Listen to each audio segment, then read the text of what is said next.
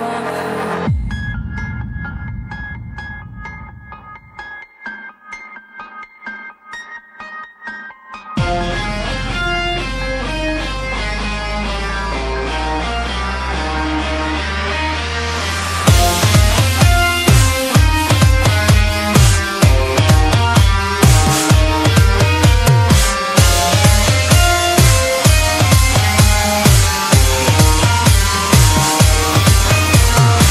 few things I really have to know before I go and let you in.